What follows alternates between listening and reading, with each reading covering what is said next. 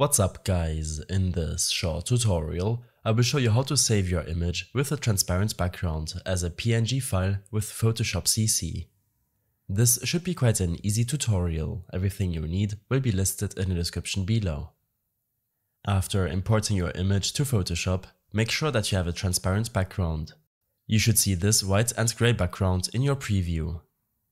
When this is done, navigate to File, Export and select Quick Export as PNG. This will open up your File Explorer, asking you where you wish to save your PNG file to. You can also navigate to File, Export, Export As. On this window, make sure to set the Format option to PNG. Check the transparency box, and for logos and smaller icons, I suggest checking the smaller file 8-bit box as well.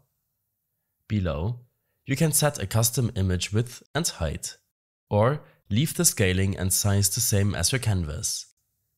After clicking on export, you will be asked again where to save the image. I hope this helped you out, leave a comment if you have any questions and see you in the next one.